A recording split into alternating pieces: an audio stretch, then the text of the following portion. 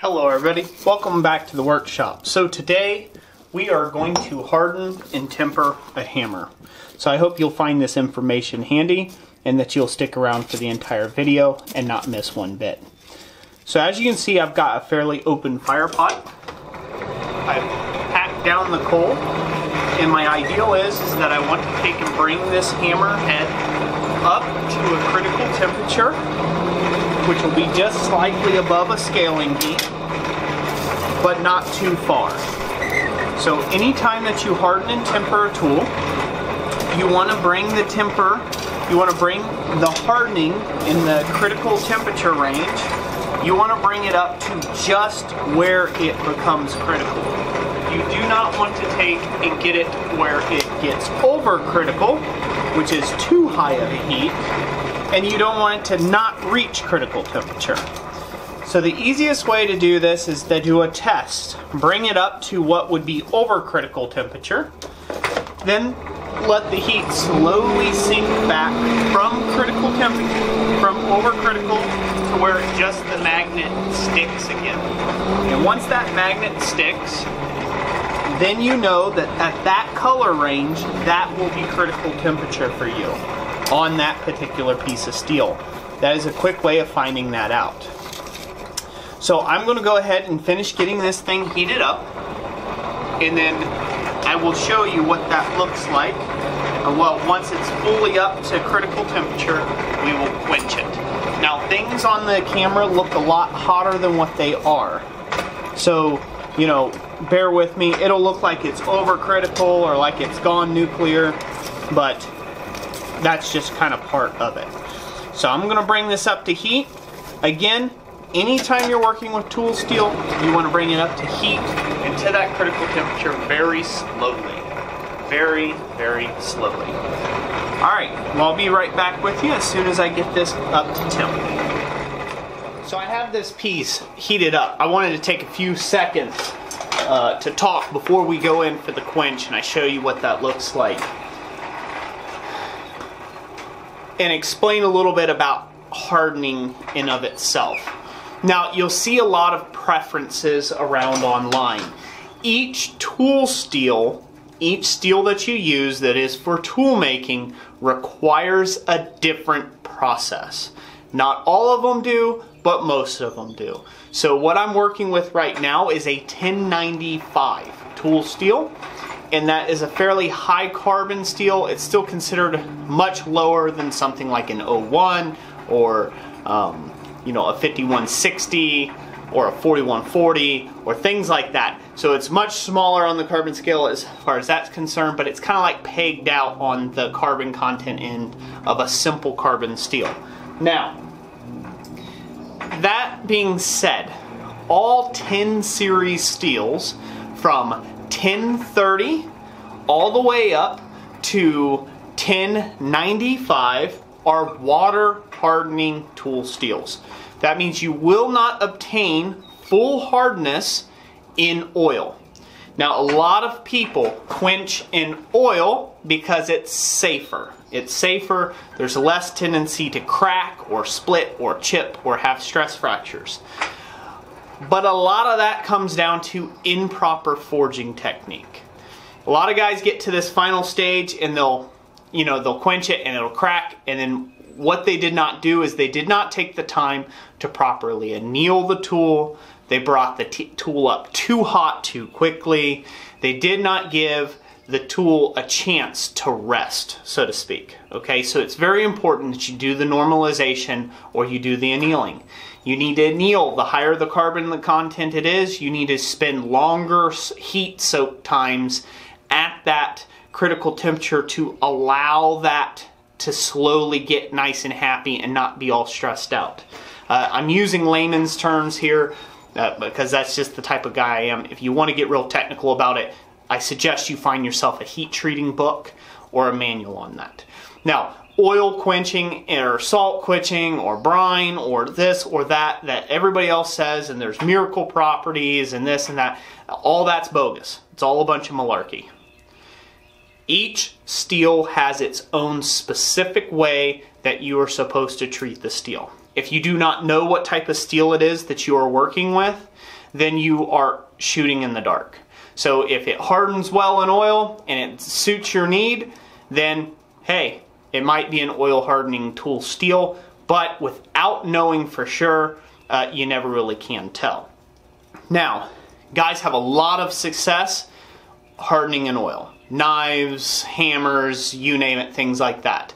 I suggest that you look it up. You can always Google it. Google's a wonderful place for that type of information to find out what type of steel you're working with and does it harden in oil or water or brine or what the specific temperatures are.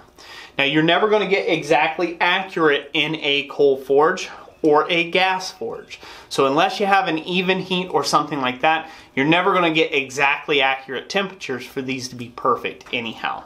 So I'm just pointing that out here. Uh, I know a lot of people are going to try to, you know, they're going to comment in the comment section. That's okay. Uh, of this video, it's not really open to debate or argument. Get yourself a good heat treating guide. Get yourself a slide rule, a heat treat slide rule to tell what type of materials you are working with. If it's that critical for you, make sure that you take and follow the rules of that tool steel that you're working with. Uh, the last thing you want to do is have a lot of effort into a piece. It was an oil hardening steel and you quench it in water and the whole thing break on you uh, in use. You get it too hard or you stress it out and you lose all that work. So without further ado, this piece is good and hot. And it's, like I said, it's overcritical. I'm going to let it cool down till where it just becomes magnetic again. And then I'm going to bring it up to that color temperature in the fire to go for the quench. So without further ado, let's go to the quench. You want to work a figure eight when you do this.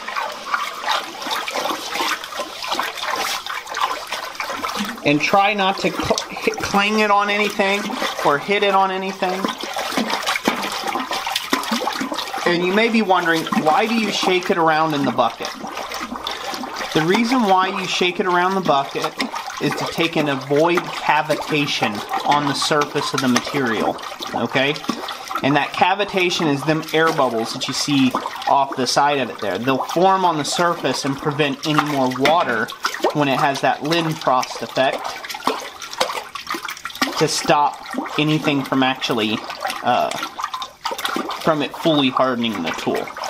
So you want to cool this all the way down. Make sure it's cool and that it no longer sizzles. If you start seeing a little bit of steam come off of it, just make sure it's all the way cool. And just put it right back down into the tank. So this is just uh, whatever the day is. It's ambient temperature water. Um, it was fairly cool last night, so the temperature of this water is a fairly cold water. If you're worried about breaking steels like this, you can always boil some water and then quench it in some boiling water or some hotter water. Um, things like that. I've heard heating the water can help. I don't generally worry about that. Um, you know, the hardening process is a very severe process for a tool anyhow. So let me get you out of here and then we'll take a look at how this hammer looks up close and personal. So here we are. This is as hard steel now. I want you to take a look at the kind of the surface pattern here. And if you see these really gray areas in here, things like that, what that is supposed to be is martensite formation. So I am, once again, I am not a metallurgist here, so take what I say with a grain of salt when it comes to this. Uh, this is the most commonly accepted thing that I have been told, and so that's what I'm telling you. Uh, it is martensite formation, and it is a good indication of hardness that you have hardened now this piece of uh, steel. Obviously, you can always check it with a file. I'm not going to do that because I already know that this is hard for the simple fact of the way that it looks. It's very gray in color. It's got a good martenite, martensite formation on the surface here that you can see. And I also know that this is a lot heavy. I know 1045 hardened just like I did in the water is just as hard as glass. So 1095 is going to be even more so. Uh, so I personally don't have to take and file check it. Plus I don't want to damage my surface finish. Now speaking of that surface finish, this surface finish is just a sanded surface finish and it's been hand sanded. So I will have to hand sand all this nice and clean before we go to the tempering step. We want all surfaces of this hammer to be good and clean if we can when we go to the tempering step. Now, I don't always do this in my own shop. Again, I know what hard is and I have some other ways that I check it personally that I know that it's going to hold up and I trust my hammers. If you're just getting started at this, make sure you clean the entire piece up so you can watch the temperature colors run to know for certain that you've actually got it where it needs to go. So, the next part is going to be the tempering stage. I'll come back to you after I've got this completely clean and we are going to heat up a drift and we are going to put a drift in the eye here. And this is one of the easiest ways I've found to be able to temper uh, a hammerhead because you want it to be soft around the eye of the hammer where it's the thinnest here and then you want to just draw it out to a about like a bronze color uh, no more than a bronze to a light straw out at the actual hammer faces that'll give it really good hardness and at the same point um, toughness that we need in a hammer, something that's going to be hammering away. Again, this only applies to this particular type steel. You have got to adjust your methods based upon the type of tool steel that you're using. So without further ado, I'll get this cleaned up and we will be over at the vise next with a heated up drift to take and draw these temper colors. Okay, everybody, here we are at the vise. Give me one second. I'll bring the drift over. So this is just a piece of mild steel that I forged to be able to drift and hold the hammer head. You want it to be really good and hot in order for it to work out perfectly. And then it's as simple as setting the hammer straight down on the drift. Just like so. And now we wait.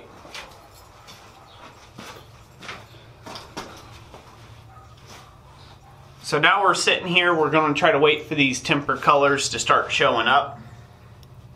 And you'll start seeing them and noticing them uh, since the cheeks of the hammer eye, the thinnest portion, that will be the first place that you actually start seeing the temper colors actually roll through. Let me get you a little closer. Here we go. Take you up just a fuzz. Hopefully we'll be able to see that.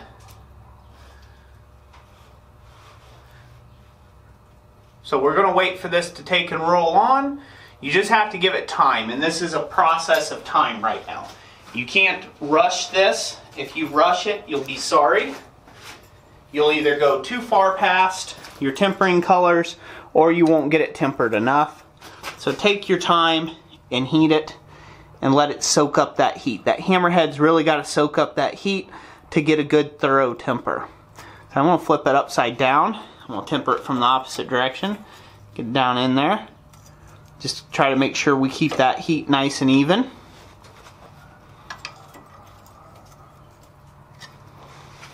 Let that heat up and keep sucking that heat out of there. And depending on how heavy or thick the hammer is, uh, the size of the hammer, you may have to heat this repeatedly doing this method. Now, a quicker way of taking and doing this is by taking a torch, like a rosebud. Uh, the reason why I'm not doing that in this video is because not everybody has a rosebud. But you can take a rosebud torch and heat just in this area and just in this area and then let the tempered colors run to both sides of the hammerhead. And that is a perfectly acceptable way of doing it as well. In fact, it's a lot quicker than what this is. But this is a great way if you're beginning at making hammer making that you can get a nice even and really throughout temper the way that you need it to be. Uh, the easiest way possible and it's consistent you can get consistent results with this so we're waiting on it And it looks like I'm going to end up having to reheat this drift a little bit to kind of hurry this along. So we'll go ahead and set this off to one side and I'll get this heated back up. And then we will be right back in this next clip. Okay, now we have this reheated. We'll go right back into the vise. Get it good and tightened up. It's not slopping around. And we'll slip that hammer right back down on there. So again, we'll let this heat. And hopefully we'll get to see those tempered colors run.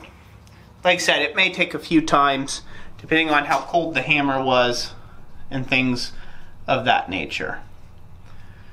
Zoom you in here. Okay, so we'll just wait for this temper colors to start running. Any day now, huh?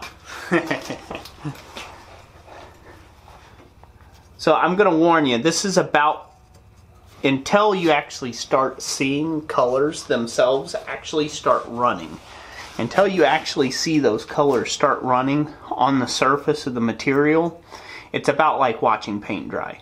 So there'll be a, about, oh, I don't know, 60 seconds of excitement after all this wait time. Uh, once you actually start seeing those colors start arriving on the surface and moving out towards the ends. The reason why this is so effective is because it does radiate out from the center. So you really do get a truly a good temper at the core of the hammerhead and then graduated tempering out towards the faces, which is a really nice effect. So I'm starting to see like a really pale straw. I don't know if you guys can see that just yet, but it's just starting to kind of get a sheen of straw and color, which is a good sign. So what I will do is once the colors start moving, I will come right back to you. So this way you don't have to watch 45 minutes of paint drying. We'll come back as soon as these colors are on the move. Okie doke, I don't see, I don't, can't tell whether it's actually picking it up on the camera here uh, or not on the viewfinder, but it has now started to temper out here. Uh, we have gotten that nice golden color. It's kind of ran a little bit past. And now we're getting that nice golden bronze color out towards the edges of the hammerhead. Uh, if it's not picking it up on the camera right now, I'll try to do a little finished photo. Um, yeah, my glove's starting to smoke off there. I'll try to do a little finished photo of this thing uh, so you can see the way those temper colors actually transpired. Sometimes, for your best efforts, you're trying to get this on camera and you can't. Uh, as the temper colors are based upon oxidization and the way that that acts with the lighting. So I will do my best to see if I can't get a finished photo of this as tempered and put it at the end of this video. So stick around for that. Anyways, this is how you can harden and temper a hammerhead. I just wanted to take and put that out there for anybody who is struggling with this. I hope you found it informative. If you did, remember to give me a like and uh, comment what you thought of the video in the comment section down below. Like always, God bless you, and we'll catch you on the next one. Thanks for watching.